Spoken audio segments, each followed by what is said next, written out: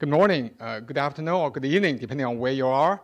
I'm honored to be the first uh, uh, lecturer on this, uh, for this uh, global summer school. Today, I'm going to talk about China's innovation system, myths and reality. Let me see. Okay, let me, I, I think, first start by just giving some general introduction of why I selected this topic. I think we all know that in recent years, China has been making progress in promoting innovation-driven development, which has generated some concerns in the U.S. and, and China is viewed as a, a, threat to the U.S. dominance in science, technology, innovation. I think further, I think China was charged to have achieved this progress through intellectual safety and, uh, and, and, forced technology transfer. I think the latest uh, attack you know, came from the U.S. Attorney General, William Barr, I think actually just a few days ago, now in uh, his address at the Gerald Ford uh, Presidential Museum in Michigan. I think that sort of the, in a way, um, uh, shows the, um, the kind, you know, of course, I think many of these charts, we basically, you know, there's little evidence provided. And, and, uh, and all, you know, I think, particularly, I think, you know, with many of the hypes and, and um, accusations on the newspapers and so on, people are really confused about the reality uh, you know, what, what really uh, China progress has China made, and through what ways has China uh, um, Uh, uh, used to make this progress, and also, you know, uh, what's the prospect uh, of China continuing that progress. So I think that based on, you know, this observation, so in, in this presentation, I wanted to try to examine this issue in the overall context of China's overall reform and openness in the last 40 years by really reviewing the evolution of China's innovation systems, really assessing the progress and regress in China's innovation system, and also reflect on what can be learned from, uh, can be learned from for future development. So let me first start by the, giving the general context of China's uh, innovation system uh, in, in terms of particularly the change over the last 40 years. I, see, I think this general context is China's 40 years reform and openness. I think over the last 40 years, uh, since uh, 1978, uh, basically, I think China has experienced four major transformations. The first one is economic system, from a planning system to a market-based uh, economic system. and the outcome of that is the rapid uh, uh, you know, economic growth. As we see that before the 2008 economic crisis, averaging about 10% each year, and still, I think after the, the crisis, it's still 6 to 7 uh, percent. The second major change is industrial structure. Uh, Chinese uh, economy was uh, making a major transition from agriculture and manufacturing based to increasingly a manufacturing and service based uh, uh, industry. You can see, as you can see that at the beginning of the, the reform, agriculture is about 30 percent of China's GDP, and labor actually is more than two thirds. But now I think the uh, China's agriculture is only about 8% uh, of, of China's GDP and less than one third in labor. However, the service, uh, you know, the, at the beginning of the re reform, is only about 20%, but now it's over more than, uh, uh, it's more than half of China's GDP. So that's sort of the second change. I think the third major change is societal change. I think you can see that uh, Chinese society is really making a major transition from a closed rural society to an increasingly urban and open society. Uh, urban population uh, increased rapidly from about 20% in 1982, the beginning of the reform, to now more than uh, uh close to 60% uh, in, in, uh, of the all to total population. And also, I think the, there's many ways in terms of the, the economy and the society has been opening in terms of the economic self-reliance from the economic self-reliance to the largest trading partner in the world. I think if you look at the, uh, the, the, trade data and the FDI data, it all shows uh, rapid growth. International trade in, in 1978 is only about 10% of China's GDP, and uh, you know it, it gets to as high as 65% in 2006, and now it, you know it re returned uh, declined a bit to about uh, uh, uh close to 40 percent. So I think that's sort of the really in, on the economic side, but also in terms of the uh, general uh, people's access to inter to internet. China is now probably has the world's largest population with access to, in, to internet, and overseas travel also increased rapidly uh, from 2000, 2000 um, uh, in the year 2000 uh, with about 10 million people now to in 2017 you know 100 to actually to you know, one, 1,300 million uh, uh, people, uh, three, 1,000, probably I think there's one, one more zero. I think it's um, to 130 million people. So I think that's a, a, very rapid increase in terms of overseas travel. So I think that all shows Chinese uh, uh, uh, society, society has been changing, the, the change that happened in Chinese society. The last one is major transformations on the governance. It's the Chinese governance is changing from a charisma and authority-based one to an increasingly based on participation and rule of law. I think that uh, the Chinese uh, government has um, uh, uh made a very clear, uh, um, uh, you know, determination to to to establish a clean and capable government. China has experienced eight major reforms, administrative reforms, and also expanded, you know, public service very rapidly.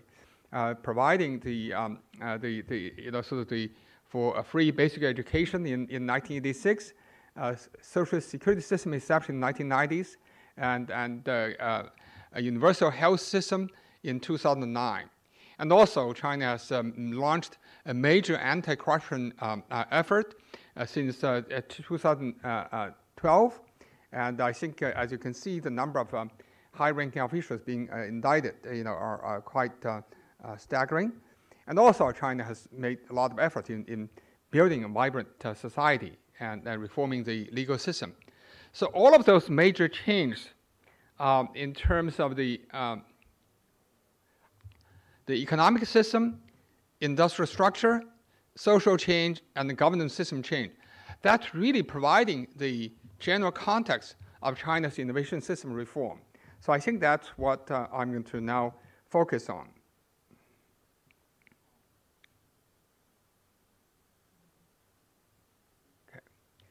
I think it's, you know, against that background, I think China's innovation system has also uh, uh, under, uh, you know, gone through a, a, very, a very major uh, transformation. But I think before I, I get to the major transformation since 1978, I wanted to bring us back to 1895. That's where I see as the beginning of a contemporary education and research system. That's sort of the, really the foundation of the innovation system. I think until after Opium War, China began to send students to the West to learn modern science and technology. But not until uh, the 1895, uh, China began to start its first modern university in China, which actually was uh, in Tianjin City, the Tianjin Pei, uh, Peiyang uh, Western School.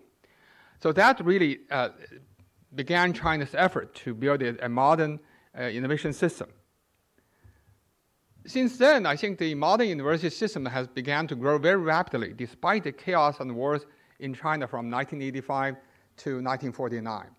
Uh, by, the, uh, by 1948, right before the funding of the People's Republic, China had uh, 100, 110 universities, including some technical colleges, and with uh, uh, over 150,000 students. So some are uh, national universities, Others are provincial and also private universities. And actually, I think one thing I want to mention is that uh, even during the World War II, I think the leading universities, they actually had to relocate to the uh, southwest part of China, but they continued their study and they continued their education and research. Uh, and the, the, picture shown, uh, the, the picture below was one of the, the so-called the um, Southwestern uh, Union University which is a joint effort by Tsinghua, Peking University, and Nankai University. Also, I think during the, uh, uh, you know, the sort of Minguo area, I think before the 1949, China also has started uh, its research uh, institutions. Academia Sinica was established in June 1928 with uh, Mr. Cai Yuanpei serving as the president. And, um, and also by 1948, uh, and there were um, uh, you know many there were 81 fellows in in academia uh, academia sinica, and also there are many research institutions established before 1949. And, and the picture shown, I think the, uh, the top one was the uh, appointment uh, plaque for, for um, Mr. Tsai Yuen-pei, and the, the picture on, on the uh, uh, down, uh, bottom corner is the, um, the old building of the Academia Sinica. After the founding of People's Republic of China in 1949, uh, China actually uh, uh, focused, spent a lot of effort in rebuilding a, a new system, of innovation system to catch up. First of all, I think that in, in November 1949, China established the Chinese Academy of Sciences, and then established many applied research institutes in various industries and in different provinces and the major municipalities. And the university system has also gone through some major restructuring. Um, many uh, uh, single discipline technical institutions were created to provide uh, training for uh, engineers to meet the demand of the industrialization uh, that's happening in China. Also, I think the um, all universities became public, and the humanities and social science were really, I think, uh, reduced quite a lot. And also you see that the universities have went through some cycles, um, boom and bust, uh, from um, 1940, uh, from, from 1949 uh, to uh, late 1970s. Industrial technology and innovation is something that uh, was really quite challenging for China. I think prior to 1949, China was really relying on imports from the Western countries. And then after the funding of People's Republic of China in 1949, relying on the imports from the former Soviet Union. And so you, you, know, you, you can see from the picture that um, uh, in mid-1950s, uh, China and Soviet Union uh, signed an agreement to introduce major industrial technologies to China. Uh, I said that's the top picture. And the bottom two pictures was, you know, what, some of the, the projects that's being introduced through this period of time that from uh, 1949 to, to the 1960s, China has achieved major progress in, in uh, establishing its uh, innovation system. Uh, by 1965, uh, China established more than 1,700 research institutes uh, with over 150,000 researchers and achieved some major progress in basic research, strategic research, and industrial technologies. So some of the, you know, the pictures shown here are some of those outcomes. At the same time that we also see some major setbacks. Uh, one setback is the, uh, the breakup with the, the, the Soviet Union uh, in, in 1960. Uh, the Soviet Union uh, decided to um, break up with, with China on S&T collaboration, uh, basically calling back all of their experts and stopping all the joint projects.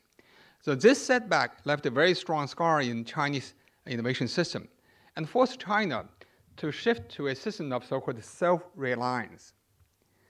Another setback, of course, is the uh, Cultural Revolution uh, from 1966 to 1976, which actually forced almost all of China's S&T institutions to close down and engage in political movements. So that is the sort of the first sort of period of time that from 1895 to 1978 that you know laid the foundation of China's innovation system, and I think that's you know so for for the uh, 40 years of reform that really served as a very important foundation. Now let's begin uh, from the second uh, period of time, the spring of science in uh, uh, starting in 1978. Uh, this is the end of the Cultural Revolution, and China had a major national science conference that really uh, restored the dual role of science and scientists in Chinese society. And the Chinese innovation system began to restore its normal operations. So that's the sort of first period after the China's reform. However, I think the, uh, what we see is that uh, in mid-1980s, uh, Chinese society has making major changes in, in terms of reform and openness. So in a way, the traditional academic institutions, they are um, still you know, doing their own work in, in their research institutes, but not they, they do not have much, uh, uh, um, they, first of all, there's no need for them, and they also, there's not much willingness for them to serve to the need of the economic development. So how do you change the culture and um, uh, incentives to let this, you know, S&T institutions to serve for the need of the economic development? And that's sort of the, uh, the background of the first reform. So the reform strategy is that the China uh, issued, the government issued a major re reform policy focused on public research institutes, basically to cut their uh, block funding and set up competitive R&D programs and to force them to really respond to the need of the economic development. Also, um, many high-tech development zones were set up to promote innovation uh, and to promote science, technology, innovation development. And also scientists were encouraged to jump into the sea to become entrepreneurs. So, so this is a, a major uh, uh, change in the, uh, in the whole system uh, from 1985 to late 1990s.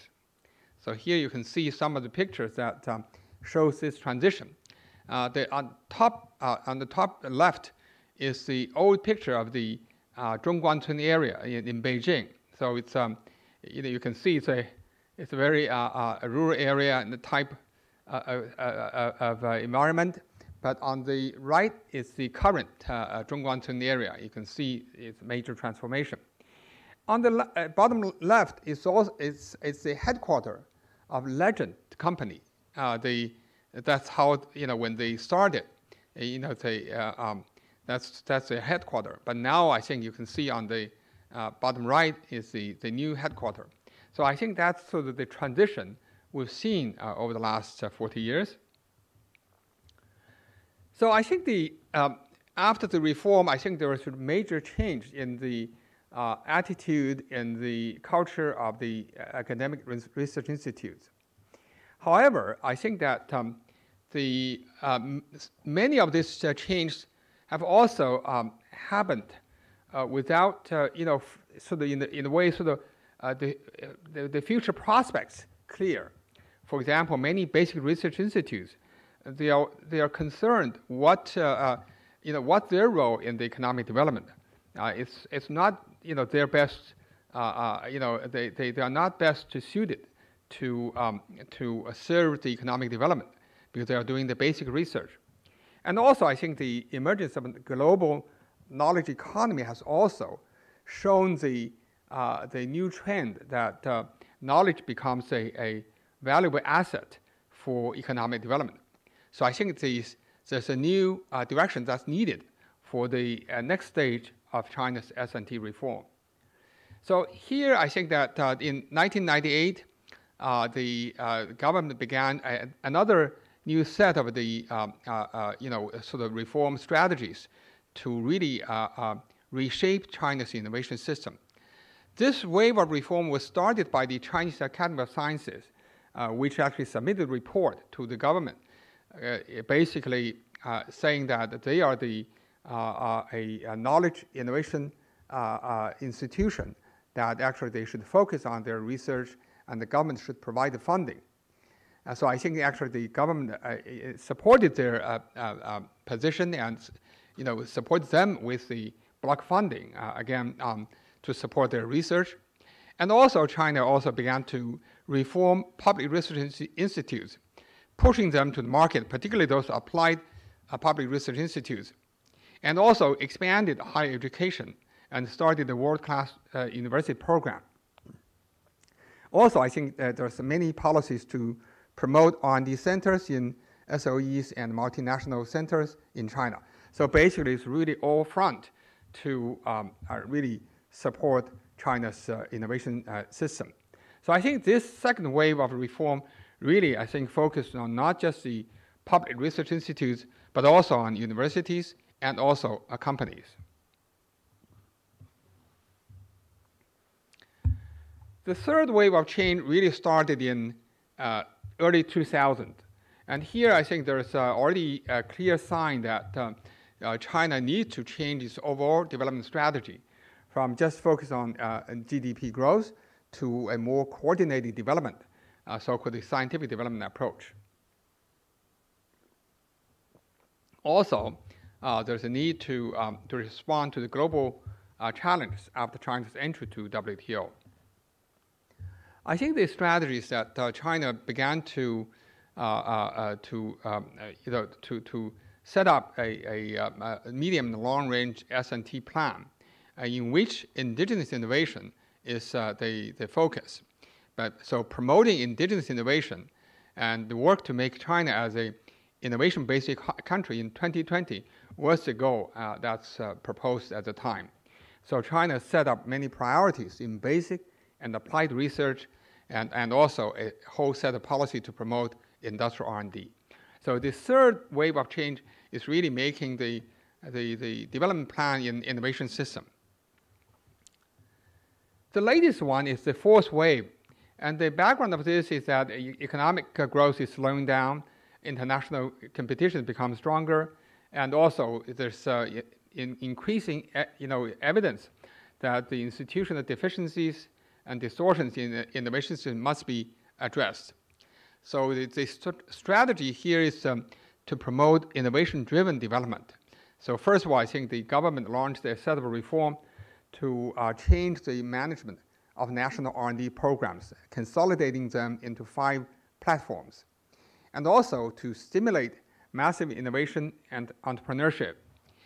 And also, I think to, to propose that the, the entire development of the economy should really be based on innovation. So the fourth wave of, um, uh, uh, uh, you know, sort of the change uh, is the one that's still continuing at the moment. So I think that's sort of the, I gave out sort of a very quick review of the evolution of the China's innovation system. So from the, the uh, very uh, beginning of the end of the Cultural Revolution to the, uh, a few reforms that uh, in the mid-1980s, 90s, and 2000 until now. So I think that's sort of the, uh, the those reforms and openness really allowed China's innovation system to flourish. So now let's look at the outcome of the reform. First of all, let's see what are the major successes. Uh, first of all, I think China has experienced a sustained growth in total R&D investment. Uh, from mid-1990s to now, I think China's uh, um, R&D, uh, you know, China's investment in R&D, as you can see that um, the red line is China. So you can see that has been growing uh, continuously and now surpassing uh, every other countries except the U.S. U.S. is top one, still the highest. Uh, but you can see that China's growth is very steady and, and is surpassing all other countries. And uh, also, I think China's uh, in China's R&D uh, investment, uh, in industrial R&D has becoming a major part. in the mid 1980s, it's only about one third. So meaning a lot of the research is done in research institutes, universities. But now I think it's uh, uh, more, than, uh, uh, more than three quarters are done by the industry. That's really showing that you know, the, it, it, becomes more directly linked to the economic uh, growth. And also, I think there's a rapid econ- uh, growth in R&D outputs in, in terms of papers, patents, and also there's greater participation in the global innovation system in terms of multinational R&D centers, joint publications, and etc. And also, the higher education has also experienced a massive expansion. The gross enrollment rate increased from 3.7 in 1990 to now uh, close to uh, half, to 50% in, uh, in uh, last year. Uh, the emergence of global known institutions have also grown in terms of research universities, uh, research institutions, and multinational Chinese multinational companies. So those are some of the the, you know, the kind of indicators of China's you know, success in innovation domain. So let me present some of the data, as you can see. So this is the one that I've already shown, the investment in R&D in comparison with other countries. And this R&D intensity, meaning the R&D investment as percentage of GDP. Uh, China is now on par with um, European countries, Euro with uh, uh, European Union countries. So uh, it's just you know over two percent. This is the China's international publication. As you can see that uh, uh, I'm, I'm showing a sort of, you know, a, an earlier period of time uh, in 1999, from 1999 to 2008. You can see that around the year 2006 or 2007, uh, China's international publication have surpassed uh, all other countries ex except the US. So US is not shown here. So you can see that China is really catching up very quickly.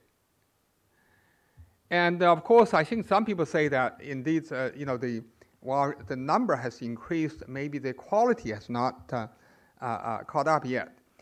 Indeed, I think that in a co-author and myself, we did a study on China's publication in high-quality journal papers, and so we, you know, we see how, in terms of how China is doing in terms of high-quality journal publications.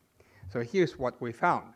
Again, we see the same similar pattern that China has been catching up, you know, since mid 1990s, uh, catching up very quickly, uh, now surpassing, uh, you know, in about 2011 or 12, surpassing all other countries except the U.S. The U.S. is not shown here. So China is indeed, in terms of quality, has also increased quite rapidly. Uh, the, another indicator, of course, is the patent, as I mentioned before. And here is the, uh, the uh, uh, WIPO's data on the, uh, you know, the, the patents granted in, in different offices. You can see China is the one that's being sort of growing fastest. You know, this is now it's the, the most, uh, pat, you know, granted the most patents among the five major offices. And of course, many of this uh, outcome were achieved with uh, international collaborations. As you can see that um, in terms of China's international publications, it's always about 20% or so of China's total publica uh, publication.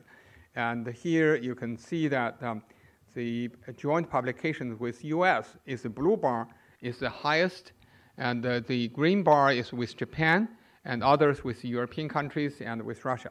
So you can see that many of these publications were uh, joint efforts. And also the uh, multinational R&D centers in China has also grown very fast. I think that uh, started in late uh, 1990s. Uh, uh, you know, you can see that by 2010, it's already uh, you know 1,400. So I think the, they contributed to the China's innovation system in, in a very dramatic way. Another thing that also is, is fascinating is the um, royalty payment that is means you know the the, the uh, you know the sort of the, the intellectual property rights you know you, you, you purchase to uh, to use in your, your company's use. As you can see that this again is the, the you know the, the top one I, I guess uh, you probably will all guessed you know this is the U.S. So U.S. despite the U.S. is very strong, but still that U.S. is uh, really also buying a lot of technology from other countries. And I think the this one is China. You can see catching up quickly, and so now China is the second, uh, uh, uh you know, uh, highest, you know, country in terms of royalty payment. So, um, and the, the green bar, green line is Japan. Japan used to be the second, and now China is the second.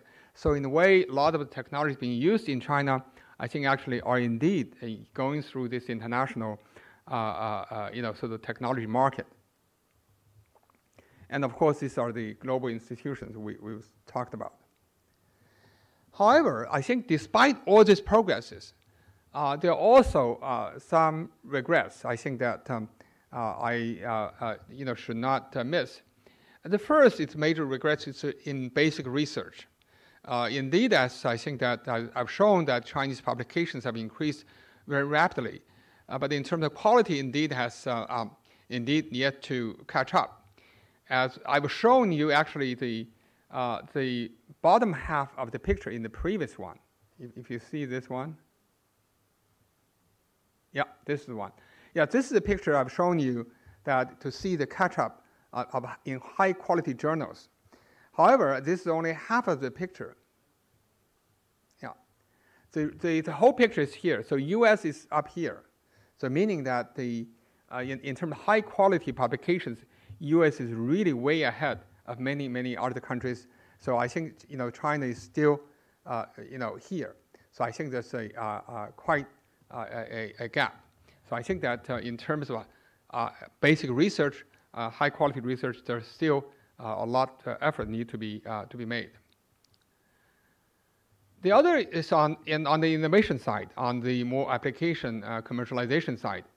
Uh, there's still quite some innovation gaps with global leaders in critical technology areas. So China is still uh, actually dependent on the uh, international market to get those technologies or products. So one example is the uh, IC industry. You can see that in IC industry, uh, this is China's total IC imports so China every year spends sort of, you know, uh, millions and billions of dollars to, to buy those uh, uh, IC chips. And of course, China also has some uh, exports. The green bar is, is, the export, but the red bar are the, the deficit in IC industry. So China, while in, overall China enjoys a, a high trade um, uh, surplus overall in, in Chinese economy, but in IC industry, China ha actually has a a huge deficit in, in IC industry. So that's sort of the, the dependent on, on the foreign technologies and products. And also, I think that um, uh, while China has accumulated very strong manufacturing capabilities, that, but China has not built very strong brands. So I think that uh, we, while China manufactured a lot of goods in, you know, in the world, but in terms of well-known brands, globally, I think it's still limited.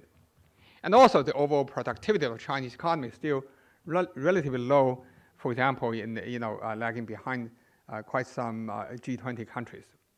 And also I think there's a lot of uh, um, still institutional reforms need to be completed in China if it really wants to be uh, innovative country uh, in, in, in China. So I think that's the set of, you know, the things that we still yet to, to complete. So uh, that's sort of the, I've given you the evolution and the outcome. Let me make a brief assessment of China's innovation systems and to what are the reasons for China's success and what need to be further improved. I think that uh, you know, for people who do not, uh, you know, uh, who are not familiar with the China's innovation system, they do see the uh, sudden rise of China's innovation system as a surprise. But if you look at the you know, what has evolved over the last 40 years or even 120 years, you will begin to understand why China began to, uh, you know, Chinese innovations began to emerge. I think the first one is the accumulation of capabilities and talents. Uh, I, I, think uh, unlike many other developing countries, China has built its STI capabilities since 1895. So this, despite the, you know, the turmoils, you know, wars and so on, but China continued. So that actually uh, laid a very solid foundation for China's innovation systems. The second uh, uh, major reason is consistent policy support and conducive social environment. Uh, there's, uh, you know, innovation has always has very strong leadership support. Uh, so China's investment in, you know, R&D has, you know, kept rising since mid 1990s. And also the policy orientation is also very consistent. It's market-based reform, uh, competitive mechanisms, open and indigenous innovation, and that sort of you know, policy has been continued. And the third is very conducive social environment. Uh, the macro social environment of reform and openness allowed many reforms to, to take place. One example is the you know, reform of over 1,000 uh, uh, uh, you know, application-oriented uh, public research institutes, corporatizing them into uh, market entities, uh, it's you know unlikely to happen in other during other period of time. But you know during the economic reform, the reform and openness period of time, those reforms are indeed possible. The third is coordinated opening up and reform, serving as dual engines for development. So in a way, I think Chinese, you know, innovation system reform was really, uh, you know, moving along two wheels. The first wheel is reform. Uh, those reform are based on incentives, uh, incentive change and institutional change. So I think that's the on the one wheel. The other wheel is opening up. It's learning from outside and trying to be integrated with the global uh, innovation systems. Uh, so, for example, you know, the idea of science parks, uh, multinational R&D labs are all indeed ways to, uh, to be integrated into, into the global system. And the good thing is also these two wheels are really reinforcing each other. Uh, when you have better reform, that provides more opportunities for opening up. But when you have more opening up, that creates more demand for reform. So those two really uh, are really sort of reinforcing uh, each other. The last one, but the last one, but, but not least one, is the hard work spirit by a whole generation of people who treasured the opportunity to use their talent for the benefit of society. And so in a way, this is the, the first time in China's recent history to have a long, stable period of time for innovation, for social and economic development. So I think this, this whole generation of people that really uh, treasured those opportunities and worked extremely hard. So those, all of those factors really propelled the, uh, the, uh, the emergence of China's innovation system. But of course, I think, as I mentioned, there are many, many, many uh, new things uh, needs, needs to be, uh, reforms need to be, to be done, to be, to be completed. For example, there's need for better market environment to support innovation, because I think ultimately, I think the innovation would have to be realized in the market, and so we need a fair and uh, uh, you know a competitive market. And also, there's a need to for for more risk taking in China's basic research, because if you want to do those kind of a original uh, uh, uh research, high quality research, there's also a lot of risks associated with it. so I think that there's need to for Chinese scientists to be willing and daring to, um, to tackle those, uh, those uh, you know, sort of more of uh, original problems. And the third is that there's a need for stronger enforcement of academic integrity.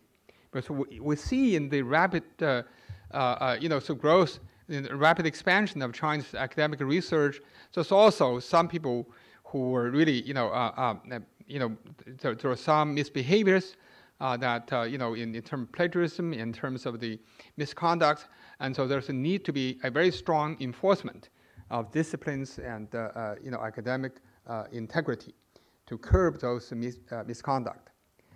And also, I think there's also a need for better management of R&D institutions uh, to really align mission, operations, models, and governance. Because now we have many R&D public research institutions. Uh, uh, they are, you know, they are assumed to play the role of public institutions, but the funding support is not aligned with their uh, mission. So many of those issues need to be addressed. Also, there's a need to have um, more autonomy to universities so that each university can position themselves to see how they can fit the need of the social demand and to also to find their own way to achieve excellence. And finally, also, we need to uh, uh, make you know, a strong effort to cultivate innovative culture because that ultimately uh, is the uh, the, the source of innovation so that we can allow more Jack Ma and Elon Musk type of people to emerge uh, from, the, uh, you know, from China. So those are just a, a, a, you know, a few items that actually you know, you know, listed here, but I, of course there's a lot more that can be done. Now finally, let me get to the future prospects.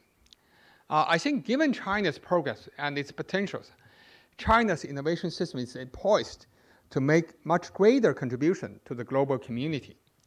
Uh, you can see that you know China's contribution to global knowledge system has already been growing very fast. Now it's you know over uh, the total publications on par with the U.S. Uh, China's contribution uh, to address global challenge, such as climate change, is also uh, uh, quite remarkable. So I think the potential is there. However, this potential has been dampened by the recent effort by the U.S. government to decouple with Chinese innovation areas, uh, you know, since uh, 2017. Uh, there's a whole set of measures that listed here that, you know, that's been taken by the U.S. government. This is really unfortunate. it has generated quite, quite a huge negative impact on global innovation system. in terms of knowledge production, I think that the, there's a very strong U.S.-China collaboration in in, in, in almost every area. So I've, here I've done you know, some areas you can see that this is in, in medical science. I think uh, on the left side is the, uh, the publications uh, in, uh, at the US, and this is the US and this is China. And here it's interesting, it's the uh, joint publication as percentage of those countries. So here's the uh, joint publication as percent of the U.S. is about you know 14 or 4, uh, percent of the U.S. side. On the China side, it's you know about 10 percent of China, uh, China's total publication. And here is the in uh, double E, uh, which is an important area.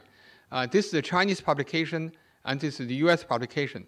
As you can see, that the joint publication is a very significant part of the U.S. Uh, uh, total publication, but you know one third of China's total publication. And here's AI again. You know you, you see that that uh, indeed all of this joint work is quite important to both countries. However, with the uh, you know, the, the current effort by the U.S. government, this uh, joint, pub, uh, joint work may no longer uh, be possible. On the global innovation side, of course, I think delaying the diffusion of new products and services, such as 5G, and increasing the cost of uh, production and consumption, damaging global value chain, ultimately, the, you know, everyone, you know, I think in the, in the world would have to bear those costs. So it's a lot, it's a lose-lose situation for the entire world. So what can be done? So here is a list of things that I propose that we, first of all, we should really try to maintain educational exchange, maintain exchange collaboration in basic science, because I think ultimately whatever being produced in basic science is, is good for every for everyone. And also we need to establish a platform to address dispute in innovation areas. And here's, you know, there's, I understand there's commercial interest involved, but here I think uh, U.S. China has had, you know, experience before, in the so-called U.S.-China Innovation Dialogue. That kind of platform would be very useful to address some of these disputes, and also identify areas of common interest to work together to address the common global challenges, such as public health, environment, climate change, and, and many other things. Imagine what can be achieved if U.S.-China can join hands to tackle the most challenging issues of our time. So thank you. Let me stop here.